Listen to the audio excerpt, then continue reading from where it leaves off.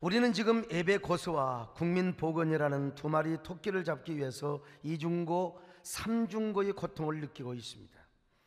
금지도 화상 춤 예배로 우리 귀한 성도들을 초청하였고 또 지금 온라인 예배를 어, 드리고 있습니다.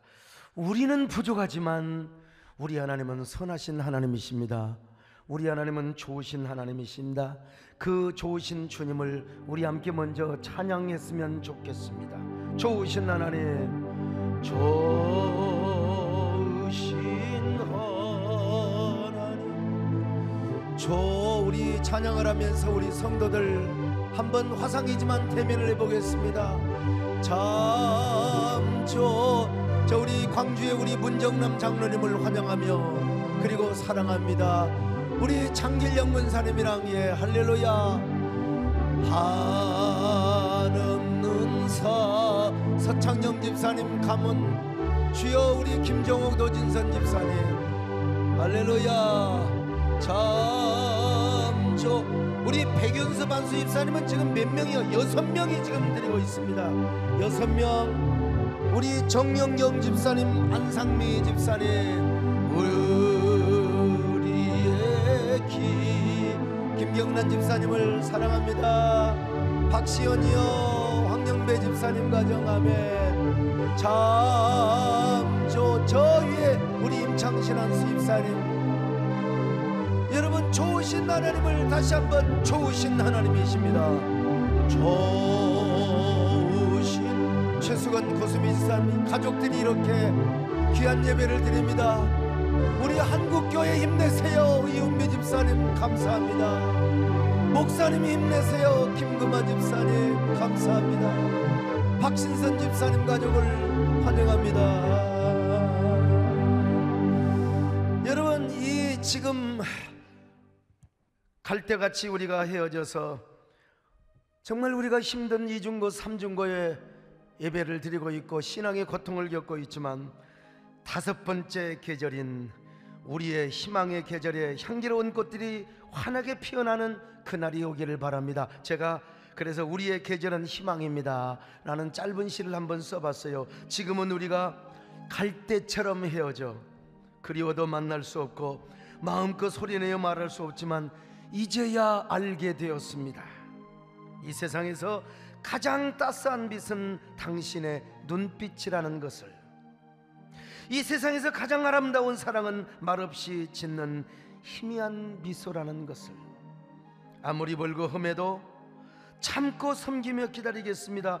우리의 외로운 사랑이 봄, 여름, 가을, 겨울을 이겨내고 다섯 번째 계절엔 희망의 들녘에 꽃으로 피어나는 그날을 여러분 우리 그날을 꿈꾸며 오늘 또 우리가 최선을 다하여 우리 유튜브로 함께하는 분들 화상춤으로 함께하는 분들 그곳에서 신랑 되신 예수님이 찾아가시고 여러분 성령의 임재로 가득하셔서 신령과 진정으로 예배에 성공하는 여러분 될 수 있기를 바랍니다.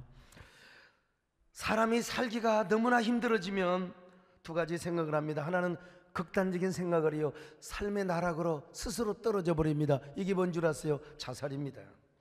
그러나 또 하나는 힘들고 어려울수록 더 살고 싶은 욕망이 생기는 것입니다. 내가 살아야지. 이때 뭐가 생각나는 줄 아세요? 신이 생각이 나고 종교가 생각이 납니다. 인간은 누구나 다 똑같아요. 사람은 누구나 신을 찾고 싶어 하는 본능이 있습니다. 그게 바로 영혼의 노스텔지어란 말이죠. 그런데 신을 언제 찾느냐? 힘들 때. 힘들 때. 우리 배장용 장로님도 인생 힘들 때 우리 하나님을 만난 거 아닙니까? 우리 장충식 장로님도 인생 힘들 때 하나님을 만났어요.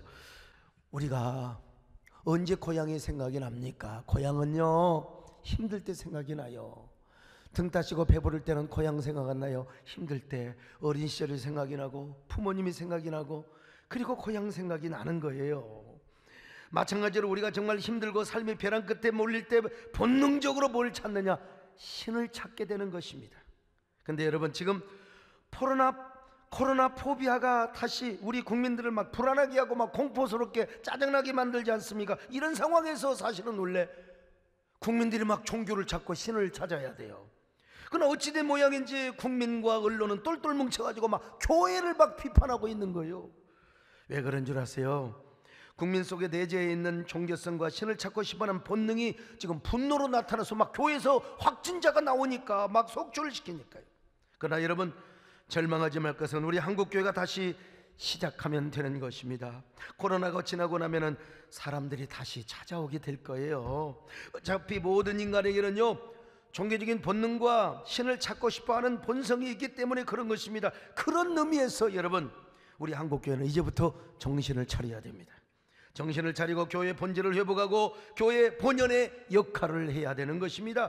세상이나 타종교와 완전히 차별화되는 진정한 교회의 진짜 모습을 보여줘야 되고 하나님을 섬기고 교회 안에서 기적이 나타나고 능력이 나타나는 이런 교회 본 모습을 사도행전 2장에 같은 이런 교회 모습을 우리가 보여줘. 그러면 부흥의 기회는 다시 옵니다.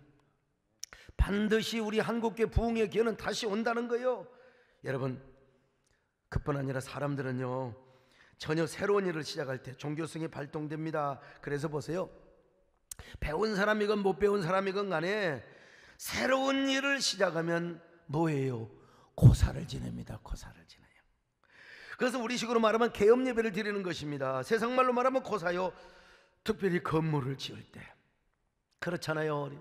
우리 최정영 장로님도 건물 지을 때 고사 안 지내고 예배를 드렸지 않습니까? 참 아무리 사람이 평소에 종교성이 없고 신을 찾지 않는다고 하지만 새로운 일을 시작하면 반드시 고사 지내요. 돼지대가리 다 차려놓고요. 그뿐입니까? 일이 안 되고 자꾸 꼬이면 무당을 불러서 구술하게 되는 겁니다. 점을 치게 되어 있어요. 무지하고 못난 사람만이 아니요. 선거철이 되면요. 국회의원 나오고 막 시장 군수 나올 때요. 어디 가서 공천 받고 어떻게 하면 이게 당선될 것인가 무당을 찾아간다는 거 아니겠습니까? 그때 여러분 복비가 보통만이 든 게 아니라는 겁니다.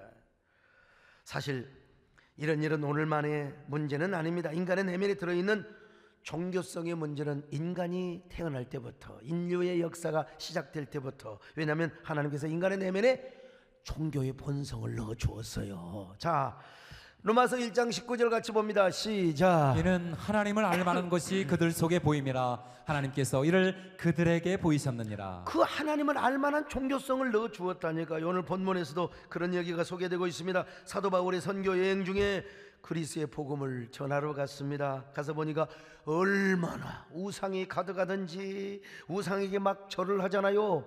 이 사도 바울이 막 격분을 했습니다. 사도행전 17장 16절 시작. 바울이 아덴에서 그들을 기다리다가 그 성에 우상이 가득한 것을 보고 마음에 격분하여 아니 그것도 무식하고 무지한 사람들이 우상을 섬기면 뭐 그러느냐 하겠어요. 당대의 최고의 지식인들이 당대의 최고의 철학자들이 우상을 섬기고 있는 거요. 그래서 그들과 막 날마다 변론을 하였습니다. 변론을 하면서 전도를 한 겁니다. 18절입니다. 시작. 어떤 에피쿠로스와 스토아 철학자들도 바울과 쟁론할세 어떤 사람은 이르되 이 말쟁이가 무슨 말을 하고자 하느냐 자, 여러분 여기 에피쿠로스 학파는 뭐냐? 쾌락주의자. 인생이 짧다. 인생이 한 번뿐이요. 그러니까 쾌락을 누리며 살자는 게 에피쿠로스 학파입니다. 반대로 스토아 철학자들은요, 이 짧은 인생을 사니까 인간답게 살아야지, 도덕적으로 살아야지. 그러니까 우리가 금욕을 해야 된다는 것입니다. 바울은 그들과 변론을 하였습니다. 그러면서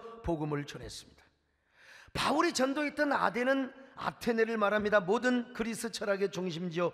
그리스 신화의 중심지라고 말할 수 있습니다. 그리스에 여러분 옛날 우리 뭐 그리스 신화 많이 읽었잖아요. 제우스 신을 비롯하여 수많은 신들이 있어요. 그만큼 그들에게는 종교성이 많았어요. 그래서 바울은 아레오바고라고 하는 곳에 서서 우리 권사님 아마 다녀오셔서 알 거예요. 뭐라고 설교를 합니까? 여러분 아덴 사람들이 여러분을 보니 범사에 너무나 종교성이 많은 것 같습니다. 그런데 그 종교심이 하늘에 계신 하늘을 향하여 하나님을 섬기지 않고 여러분들은 지금 알지도 못하는 신들을 섬기고 있지 않습니까? 그 신들은 다 사람들이 만들어낸 신들이요 허탄한 신화에 불과합니다. 그 잘못된 종교심이 지금 하나님을 섬기지 않고 헛된 우상을 섬기고 있습니다. 자, 사도행전 17장 22절로 23절입니다. 시작. 바울이 아레오바고 가운데 서서 말하되 아덴 사람들아 너희를 보니 범사에 종교심이 많도다 내가 두루다니며 너희가 위하는 것들을 보다가 알지 못하는 신에게라고 새긴 난도 보았으니 그런즉 너희가 알지 못하고 위하는 것을 내가 너희에게 알게 하리라 자, 종교성이라는 말이 나온 김에 말씀드린데요. 세계에서 가장 종교성이 많은 나라가 어디냐? 일본 나라입니다. 일본 나라요. 일본 여행 가면은 호텔에도 신사가 다 있습니다. 신사 없는 곳이 없습니다. 일본에 공식적으로 등록된 신이 800만 개래요. 오히려 비공식적인 신들까지 다 합치면은 일본 인구보다 더 많대요. 신들이 그렇게 많아. 왜 그런 줄 아세요? 이유는 하나요. 일본 사람들은 미래가 불안해요. 미래가 불안해요. 미래 마음속에 지울 수 없는 불안감 그 나라는 지진이 많아요. 이 지진을 과학으로 막을 수 있습니까? 못 막아요. 아무리 뭐 전자 아무리 아무리 무슨 뭐 어떤 과학이 4차 산업혁명이 아무리 그래도 지진은 막을 수가 없어요. 그래서 그들은 불안감 때문에 종교심을 갖고 수많은 신들을 만들어내고 어려운 일이 있으면 어디를 찾아가요? 신사를 찾아갑니다. 참 얼마나 불쌍합니까? 오늘 일본 사람이 아니라도 현대인은 다 종교성을 갖고 있습니다. 종교를 찾게 되는 이유가 뭔 줄 아세요? 세 가지 이유가 있는데 첫째로 영혼의 빈 공간을 채우기 위해서입니다. 영혼의 빈 공간. 사람의 마음 한 구석에는 많이 가지고 많이 먹고 많이 채워도 반드시 허전함이 있어요. 왜? 우리 마음의 빈 구석에 배고픔이 있거든요. 파스칼의 말 맞다나 이 빈 공간에 하나님을 채우지 않고 명예를 채우고 물질을 채우고 보석을 채우고 권력을 채워도 그 무언가 허전하게 되어 있습니다. 허탈하게 되어 있는 것입니다. 인간의 허물은 절대로 채워질 수가 없어요. 제가 신학교 시절에 정말 인상 깊이 들었던 노래가 있다고 하지 않습니까? 내 젊음의 빈노트에 무엇을 채워야 하나? 이게 진짜 가사가요. 너무너무 이게 장욱조 목사님이 작사 작곡한 거요. 내 젊음의 빈노트에 무엇을 채워야 하나? 아니 내 젊은 시절에 이게 마음에 확 박혀서 내 젊음에 무엇을 채워야 되나? 내 젊음의 빈노트에 무엇을 써야 하나? 나는 당장 바꿔버렸지요 요 신학생이 말이죠.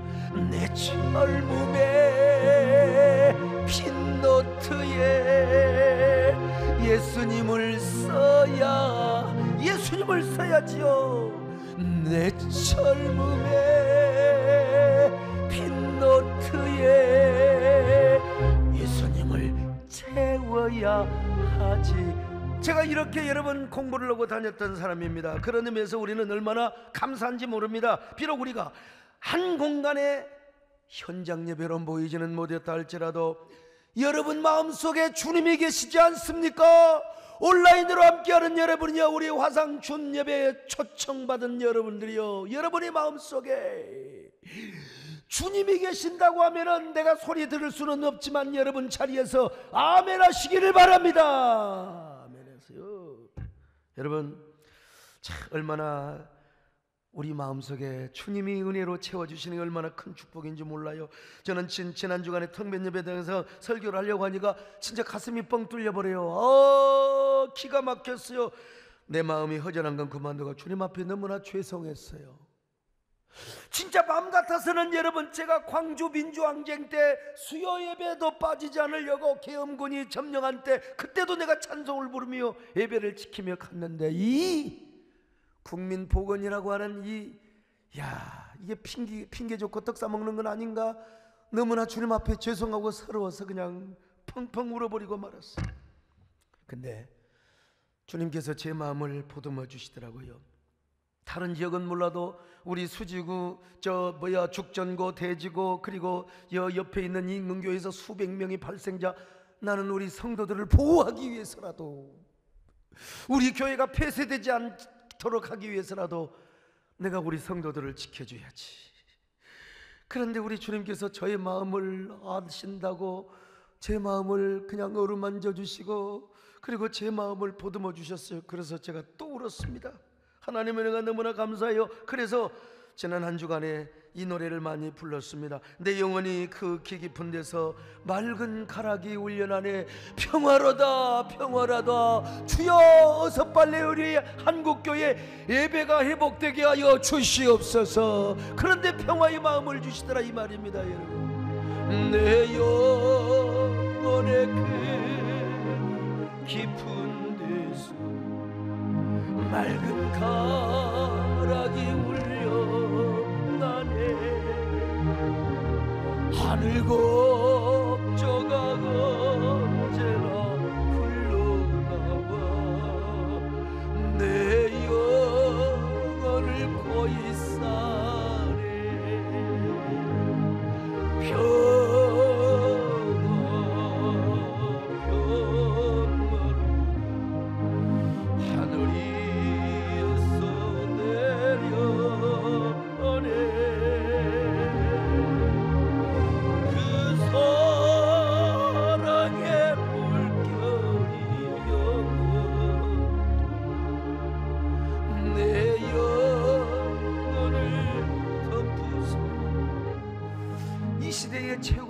문학자 이어령 교수님이 이런 말씀을 하셨어요. 그런 깊은 존재적 외로움 때문에 글을 쓰기 시작했다는 것입니다. 나는 20대 때부터 돈이나 가난 또는 권력이나 전쟁에서 비롯된 소유의 결핍, 결핍보다는 생명의 결핍, 존재의 결여에 대한 그 틈을 메우기 위해서 글을 쓰고 또 글을 썼습니다. 여러분 그 어르신도 인생의 텅 빈 공백, 마음의 공허한 공백을 메꾸기 위하여 글을 썼어요. 그러나 글을 쓴다고 인문학이 채워줍니까? 그러다가 마침내 예수님을 만나게 된 것이죠. 프랑스의 시인 오르탕스 블루라는 분도요 시를 쓴 이유가 뭐냐 자신의 빈 공간을 채우기 위해서였다는 것입니다. 인생의 빈 공간이 너무 커서 시를 썼대요. 그래서 그는 사막을 보라라는 시를 썼어요. 그 사막에서 그는 너무 외로워 때로는 뒷걸음질로 걸었다. 자기 앞에 찍힌 발자국을 보려고. 이런 시를 쓰며 그는 자신의 마음 깊은 빈 공간을 채우려고 했지만 아무리 시를 써도 시가 자신의 마음을 채워주지 못하더라는 거예요. 그래서 파스칼은 이 공간에 하나님만을 채우라고 하나님만을 채우라고 이 빈 공간에 하나님으로 채우지 않으면 그만큼 인간은 외롭고 고독하며 그리움의 노예가 된다는 것입니다. 이 빈 공간, 이 넓은 공간에 사람이 앉아 있지 않으니까 예배에 필요한 필수한 우리 스탭들, 찬양단들 내가 얼- 얼마나 내 마음이 정말 빈 공간이 가득 허무함으로 가득하게 해서 그러나 주님이 채워주지 않는다면 주님이 이곳에 신랑으로 오셔서 여러분 이곳에 성령으로 충만하게 하나님의 임재로 가득하지 않는다면 우리가 얼마나 허전하고 허무하겠습니까? 지금 코로나 사태로 인하여 이 현대인은 더 고독하고 그리움의 노예로 살아간다고 생각합니다. 사실 이 공포 포비아 사실은 이 코로나 블루로 인하여 얼마나 사람들이 종교를 찾아야 되고 사실은 신을 찾아야 돼요. 그런데도 여러분 역설적으로 국민들은 막 교회를 향하여 분노하고 있고 공격을 하고 있다 이 말이요. 어제 뉴스를 보니까 기독교가 제일 혐오스럽대. 다른 타종교보다도 미 기독교를 제일 싫어하게 된다는 겁니다. 여러분, 이것은 우리 한국 교회가 그리고 지도자들이 다 이유가 나와 있지 않습니까? 지도자와 한국교회 본 모습을 보여주지 못한 이유 때문이라고. 그러나 부인할 수 없는 것은 그들 안에 근본적으로 하나님을 향한 갈망이 있고 종교를 향한 목마름이 내면에 솟구치고 있다는 거 이건 기정사실입니다. 지금은 분노하고 있지만 그러므로 한국교회가 다시 시작하면 되는 겁니다. 교회의 모습을 보여주고 우리가 꾸준히 그리스도의 복음을 우리가 전한다면 반드시 그들은 하나님을 찾게 되어 있습니다. 이건 기정사실이요. 그래서 우리 교회는 어려운 중에도 수해 지역에 맨 먼저 달려가서 봉사도 하고 성금을 요즘 온라인 시대에 무슨 헌금이 얼마나 나온다고 말이죠. 그래도 성금을 전달했습니다. 그러므로 우리는 교회의 본질의 모습을 보여주며 우리는 이분들에게 끊임없이 거룩한 영혼의 보랏빛 엽서를 보내야 됩니다. 그 보랏빛 엽서에 하나님의 사랑 이야기를 쓰는 거예요. 예수 그리스도의 복음을 적는 것입니다. 꼭 엽서가 아니라도 미디어 엽서 있잖아요. 미디어 엽서. 지지난주 토요일 날 우리 교회에서 강의를 하셨던 김태원 목사님이 그런 얘기를 하더라고요. 예수님 시대 때는 음성 메시지. 그 다음에는 예수님이 음성을 필사해서 필사해서 이제 두루마리로 복음을 전했습니다. 그러다가 인쇄술이 발달해서 인쇄물을 통해서 그리고 그 다음에는 영상을 통해서 메시지를 전했습니다. 우리가 기독교가 좀 영상에 뒤떨어졌었죠. 가톨릭은 그래서 막 KBS, MBC 할 것 없이 막 김수환 추경이 돌아가셨을 때 얼마나 그때 우리가 기회를 놓쳤던 것이죠. 근데 지금은 뭐냐? 미디어 시대가 되었다는 것입니다. 그 미디어를 통해서 우리가 하나님의 사랑 이야기를 전하고 예수 그리스도의 복음을 전한다는 것입니다. 그러므로 지금은 우리가 온라인 예배를 드리더라도 여러 형태의 미디어를 통해서 복음 편지를 보내는 거예요. 예수 그리스도의 사랑 이야기를 담은 엽서. 지금 제가 인문학적 설교를 하고 있는데 이런 설교를 쏘아주는 것도 일종의 전도의 하나의 방편이죠. SNS를 통해든지 영상 매체를 통해서든지 여러분의 진정성이 담겨 있는 전도 메시지를 보내보세요. 당신은 지금 어디로 가고 있나요? 왜 그렇게 발걸음이 무거우세요? 왜 그렇게 내면은 고독하고 허탈하며 허전하세요? 그렇게 힘들게 살면서 왜 그래도 내면은 텅 빈 공회의 공백만을 자랑하고 계시나요? 교회 안 나와도 좋아요. 지금은 교회 나오라고 할 수도 없어요. 그냥 마음속에 예수님을 묵상해 보세요. 예수님을 믿어 보세요. 그러면 당신의 발걸음이 너무나 가볍고 마음이 평안해질 거예요. 그러니 우리 함께 예수님을 바라보고 믿어 보시지 않을래요? 당신은 지금 어디로 가나요? 발걸음 무겁게 이 세상 어디 쉴 곳 있나요? 머물 곳 있나요? 예수 안에는 안식이 있어요 평안이 넘쳐요 십자가 보혈 믿는 자마다 구원을 받아 자 우리 박수합시다. 예자 우리 박수하세요 우리. 우리 우리 우리 영상 줌으로 초청받은 분들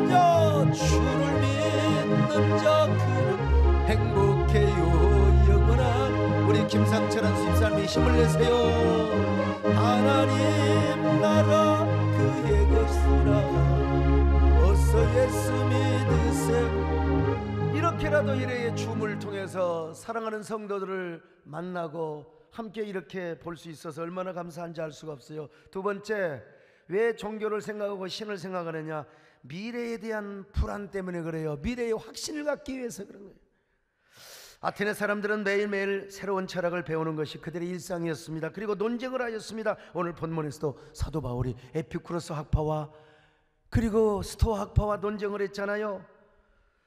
사도 바울이 그 논쟁의 틈바구니에 끼어들었던 것입니다. 여러분, 그러나 아무리 논쟁을 하고 철학을 이야기한다 할지라도 그들의 미래가 불안했어요. 미래에 확신이 없었어요. 그러니까 종교성을 가지고 미신을 만들고 신화를 만들고 신들을 찾았던 것이죠. 여러분 인문학이 무엇입니까?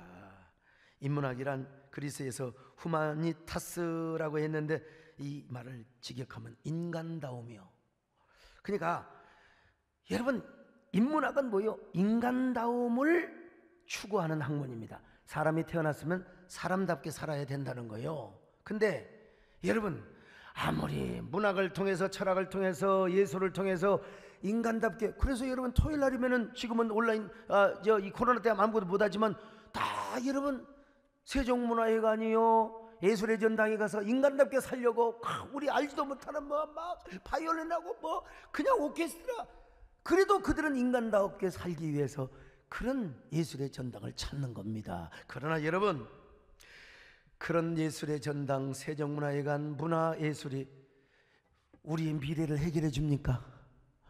우리의 미래에 확신을 줘요? 그렇다고 인간의 미래에 대한 불안이 없습니까? 천만의 말씀이요. 그래서 그렇게 인문학을 즐겨했던 그리스 사람들이 미래가 불안하기 때문에 종교를 찾았던 거예요. 신을 찾았던 겁니다. 미래가 불안하니까 여러분 신화를 만들어내고 신들을 찾게 되었던 것입니다. 여러분. 근데 얼마나 우리는 감사해요. 예수님을 만나는 자에게는 우리 하나님께서 우리 삶의 미래를 보장하여 주심을 믿습니다.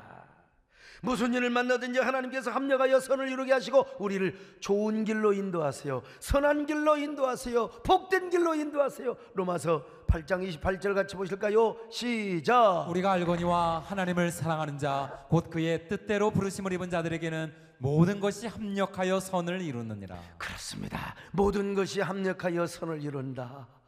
지금 고난을 당해도 이것이 나중에 선이 된다는 거예요. 그러나 세상 사람들은 미래가 불안해요. 미래가 불안해. 그 두려움과 불안한 분노로 변하여 지금 한국 교회를 향하여 지금 막 그냥 계속 공격의 화살을 붓고 있습니다만은 그러나 여러분 두려워하지 마십시오. 우리는 절망하지 마십시오. 모든 것이 합력하여 선을 이루어요. 반드시 여러분 우리에게 기회를 주십니다. 한국 교회 기회를 주신다니까요. 여러분이 지금 나가는 고난도요 반드시 합력하여 선을 이루게 하시고 반드시 하나님께서 복된 길로 인도해 주신다는 것입니다. 여러분 우리가 지금요 예배를 뭐 한두 주 두세 주 온라인으로 드린다 하더라도 예배가 궁극적으로 초토화되느냐 천만의 말씀이 우리가 하나님을 섬기는 신앙의 본질을 잘 소유하고 있으면 초대교회를 보세요. 흩어져도 문제가 있고 모여도 모이면 더 좋고 핍박이 오면 흩어져서 가정 단위로 예배를 드리고 말이죠. 우리가 여러분 교회의 본 모습을 가고 신앙의 본질을 잘 회복하면서 쉬지 않고 복음을 전하면 되는 겁니다. 사람들이 언젠가 교회로 돌아와요. 아무리 안티크리찬도 살다 보면 힘들고 어려운 일 당해봐요. 병 들어봐요. 여러분 병원에 가서 안 돼. 교회를 찾게 되어 있는 거요. 다른 데 가서 해봐도 안 돼. 목사에게 와서 안수받고 기도받고 여러분 고침받으면 그 사람 예수 믿게 되어 있는 거요. 여러분 나는 우리 이렇게 해서 여러분 교회가 부흥된 거 아닙니까? 나는 반드시 하나님께서 우리 예배를 회복시켜 주시고 우리 교회를 회복시켜 주실 줄로 믿습니다. 코카콜라 설립자 캔들러의 이야기를 아십니까? 그는 한때 알코올 중독자였어요. 잘생긴 분 일자리를 잃고요. 인생을 비관하며 그날도 술에 비틀거리며 집으로 향하고 있었습니다. 근데 하늘로부터 벼락 같은 소리가 음성이 들렸어요. 자신을 죽은 자신을 죽이는 사람만이 성공할 수 있노라. 자신을 죽일 수 있는 사람만이 성공할 수 있노라. 그 순간 그의 아내가 뭐라고 있었냐? 남편을 위해 기도하고 있었어요. 지금까지 남편에게 예수 믿으라고 전도해 왔어요. 그런데 어느 카이로스 하나님이 정한 때에 캔들러가 하늘로부터 벼락 같은 음성을 들었어요. 그래서 아내의 전도로 예수님을 믿게 됩니다. 그저 하나님께서 캔들러에게 아주 헐값으로 음료수를 제공하고 판매하는 회사를 매입하게 하셨습니다. 바로 그 회사가 코카콜라 회사였습니다. 처음에는 재정난으로 어려움에 직면하게 되었습니다. 신앙의 결단을 합니다. 신앙의 결단은요, 남자보다 여자가 잘합니다. 선자님, 그렇죠? 여자가 잘합니다. 여자가 11조를 하자고. 여러분, 그래서 11조를 하게 되었습니다. 성경 말씀대로. 놀라운 일이 생겼습니다. 아니, 여러분, 코카콜라 회사를 인수했는데 갑자기 어려움을 당했다니까요. 그때 아내가 여보, 성경에 보면 11조를 하면 하나님께서 더복을 주신다고 하셨어요. 놀라운 일이 생긴 거요. 세계 곳곳에 수출길이 생겨서 코카콜라가 세계적인 기업으로 성장을 하는 신화를 이룬 것입니다. 하나님께서 캔들러의 미래를 보장해 주셨잖아요. 오늘 그래서 저는요, 강단에 다른 물보다 코카콜라를 따라 놓으라고 그랬어요. 우리 배영수 장로님이 사다가 차 코카콜라. 여러분 캔들러처럼 예수를 잘 믿으시길 바랍니다. 그리고 캔들러처럼 11조를 잘 하시기를 바랍니다, 여러분요. 현장님에 못 나와도 아이고 뭐 그냥 오늘 말씀만 들으면 되지 그게 아니고 온라인으로 11조를 송금해야 돼요. 11조로 여러분의 삶을 역전시키시기를 바랍니다. 이 어려운 때에 나는 이런 간증을 좀 했으면 좋겠어요. 아, 목사님 이 어려운 때에 우리 사업은 이렇게 더 부흥했어요. 코로나에 전혀 영향을 안 받았어요. 그래서 나는 11조를 드립니다. 더 많이 드립니다. 나는 우리 교회도 이런 간증을 했으면 좋겠어요. 비록 지금 비대면 예배를 드리지만 오히려 우리 세된 교회 헌금이 더 많이 들어왔고 더 재정적인 증가가 이루어졌다고 나는 이런 간증을 좀 했으면 좋겠습니다. 여러분, 우리가 주님 앞에 그리고 주님 안에 존재하면 무엇이 걱정이겠습니까? 주님 안에 있으면 그 어떤 혼란도 걱정도 없습니다. 지금 우리가 어떻게 칼때처럼 갈기갈기 찢겨 헤어져 있어요, 지금. 이게 우리나라의 현실입니다. 그러나 그래서 어떤 사람은 한국 예배가 초토화될 것이라고 천만의 말씀 나도 그런 걱정을 한때 그러나 우리 하나님 반드시 우리 교회를 회복시켜 주실 줄로 믿습니다. 우리 예배 한국 교회 예배를 회복시켜 주실 줄로 믿습니다, 여러분. 다시 교회가 부흥되는 놀라운 반전의 기회를 허락해 주실 거예요. 여러분, 그러므로 우리가 더 주님을 붙잡으시길 바랍니다. 더 역설적으로 헌신하시길 바랍니다. 우리가 비록 지금은 보이지 못하지만 캔들러처럼 온라인으로 예배하면서 오늘 여러분 다 11조 송금하시고 그리고 감상금 송금하시고 오늘 1부 때는 2부에 기도하고 2부 때는 3부에 기도하고 3부 때는 3부에 헌금 온라인 보고받아 4부 때 기도하고 쭉 하고 있습니다마는 주여 주 안에 있는 나에게 딴 근심이 있겠습니까? 주여 우리 모두 주 안에서 언제나 주여 흩어져도 향기로운 예배를 드리게 하여 주옵소서 그리고 공간은 다르지만 서로 예수 그리스도 안에서 영혼의 공동체를 온라인으로 이루게 하여 주시옵소서 주아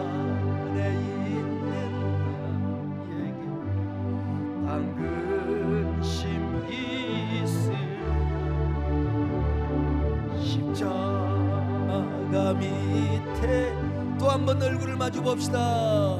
내 집을 푸 우리 양현수 집사님 어떻게 혼자 이렇게 외롭게 드리는지 자두 손 들으세요. 한 손이라도 드세요.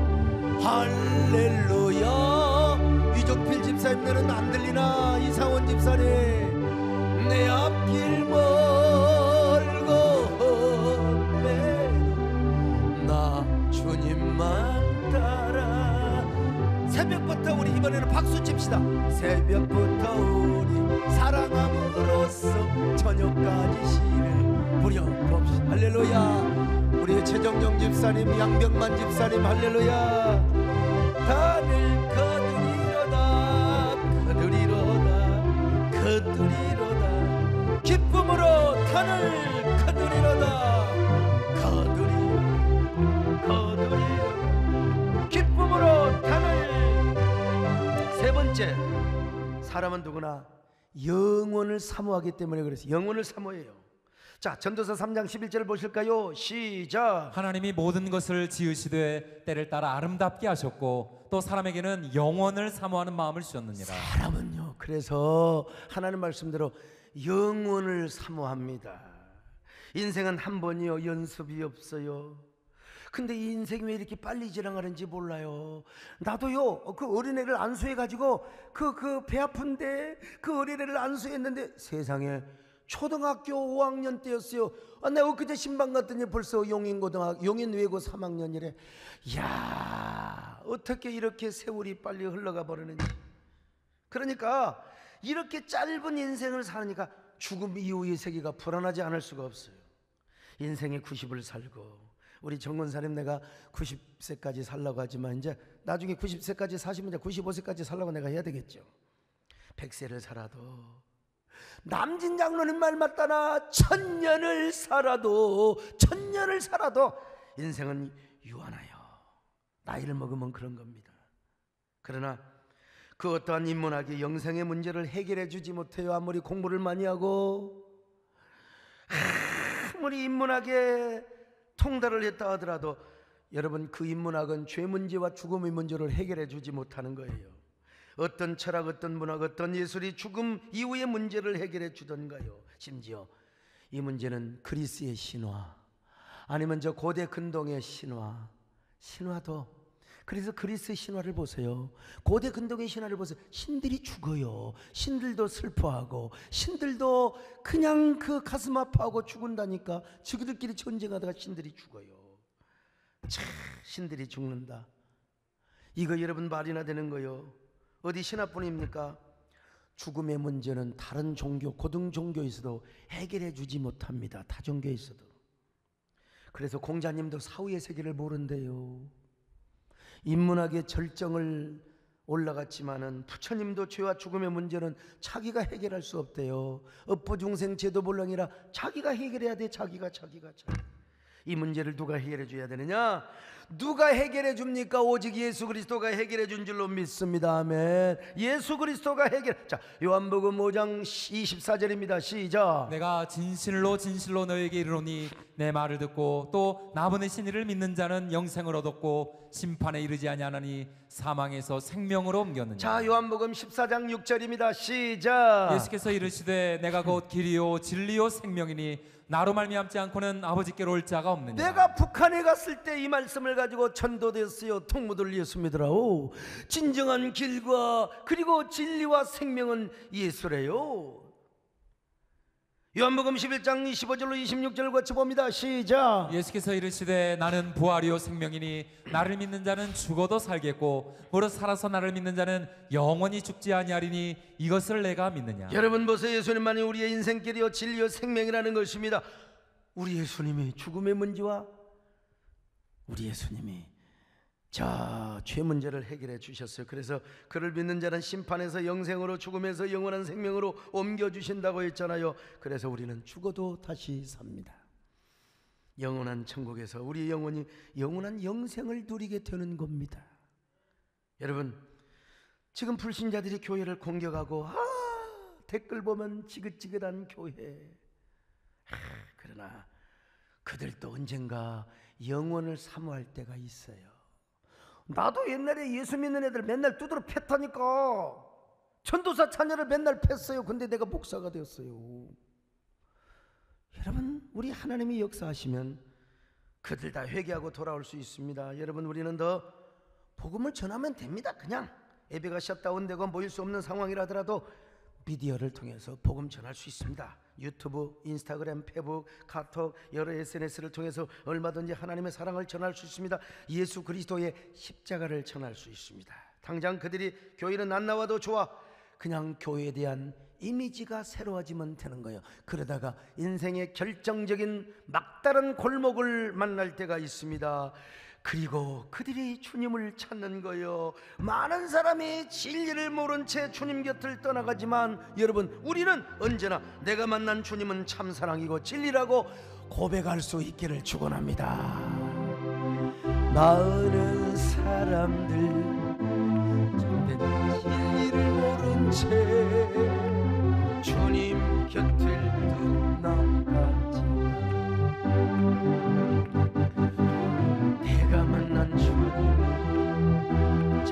주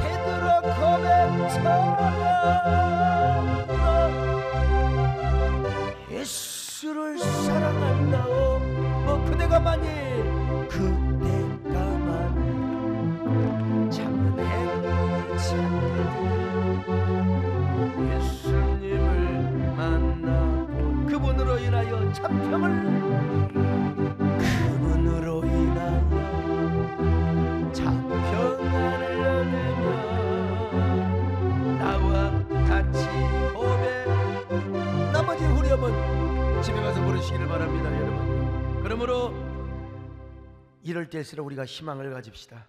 예배가 회복되고 교회가 세워지며 다시 부흥되는 그날. 오히려 사업장과 직장이 더 잘 되고 우리의 가슴이 더 하나님의 은혜와 축복으로 회복되는 그날.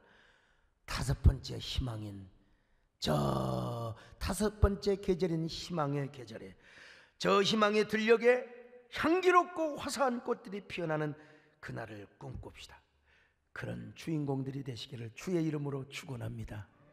아멘. 하나님 아버지 지금 국민들이 교회를 향하여 공격의 화살을 퍼붓는 거 있는 것 같지만 그럴수록 우리가 교회 본질을 되찾게 하시고 하나님을 섬기는 신앙의 본질을 더욱 더 회복하게 하여 주옵소서.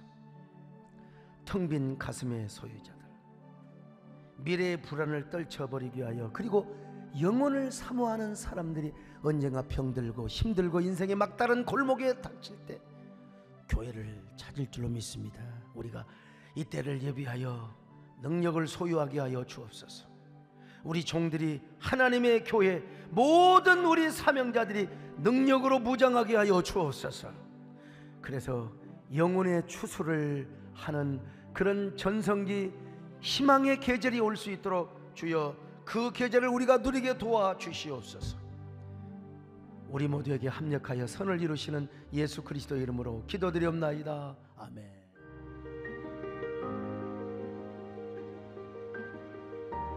안녕하세요. 육교구 이병환 안소 집사입니다. 저는 삶의 원칙과 신앙의 기본 중의 하나를 주일 성수로 여기며 살아왔습니다. 그렇기에 최소한의 인원으로 현장 예배가 지속되었던 지난 5개월간에도 방역 수칙을 철저히 지키면서 온 가족이 한 번도 빠짐없이 예배당에 나와왔습니다. 그런데 지난주 코로나 바이러스 확진자의 급격한 확산으로 수도권의 모든 교회의 예배가 비대면으로 전환되면서 우리는 어쩔 수 없이 온라인 예배를 드릴 수밖에 없는 상황에 처했습니다. 그런데 지난 주일 우리가 드렸던 예배는 단순한 온라인 예배가 아니었습니다. 줌을 통해 온 가족이 설교에 참여하는 쌍방향 소통의 예배였습니다. 이미 세상은 new normal 시대에 멈출 수 없는 변화의 트렌드 가운데 있습니다. 저는 기업의 혁신과 성장을 돕는 일을 하고 있기에 이런 변화에 빠르게 적응하고 있었습니다. 복잡한 문제를 해결해야 하는 일의 특성상 원격 업무가 불가능하지만 어쩔 수 없는 환경 속에서 저희 회사의 전 세계 5만여 명의 직원은 6개월째 재택근무를 하고 있습니다. 줌, 팀스, 뮤럴 등의 툴을 활용해 효과적으로 가상 공간에서 협업을 하고 있습니다. 그런데 담임 목사님께서 현장 예배가 셧다운되는 위기의 순간 시대적 변화의 흐름을 읽는 넓은 혜안으로 새로운 소통 방식을 제시하신 것입니다. 이러한 목사님의 결단은 본질과 비본질이 무엇인지 명확히 제시하고 타협과 포기가 아닌 전략적 유연성을 발휘할 줄 아는 창의적인 리더십이었습니다. 이런 목사님의 모습을 통해 저는 고객들의 복잡한 상황과 문제를 놓고 늘 어떤 결단을 내려야 하는 저의 상황과 동질감을 느끼고 도전을 받았습니다. 내 상황과 신앙이 할 수 있어서가 아니라 할 수밖에 없어서 해야만 하는 목사님의 상황과 현실에 공감할 수밖에 없었습니다. 지난주 설교 전에 읽으신 기도문을 통해 그 비통한 심정이 제 가슴 깊이 박혔습니다. 광주 민주화 운동의 상황 속에서도 금남로를 가로지르며 예배의 목숨을 거는 신앙의 삶을 살아오셨던 목사님께서 이웃을 내 몸같이 사랑하라는 주님의 가르침에 예배를 일시적으로 비대면으로 전환해야 하는 그 당위성과 안타까움에 눈물 흘리시는 모습에 저 또한 함께 눈물을 흘릴 수밖에 없었습니다. 이처럼 시대를 뛰어넘는 해안과 결단력, 그리고 멈추지 않는 실행력으로 항상 복음 중심, 하나님 중심의 목회를 이끌어 가시는 담임 목사님을 통해 새롭게 역사하실 하나님을 기대하며 저 또한 그 목회에 감동하며 돕는 자가 되길 원합니다. 사람에게 칭찬받고 하나님이 기뻐하는 가정이라는 저희 집의 가훈처럼 항상 자발적 섬김으로 나아갈 것입니다. 또한 연약하지만 교회와 담임 목사님 사역에 언제나 0.1%가 되며 작은 위로가 되는 창의적 헌신을 해나가겠습니다. 우리나라와 교회가 처한 환경적 고난과 정치적 이분법적인 프레임 가운데 묵묵히 하나님의 나라를 위한 길을 이끌고 계시는 담임 목사님께 힘이 되고 위로가 되길 바라며 제 부족한 간증을 사용해 주신 하나님께 감사드립니다.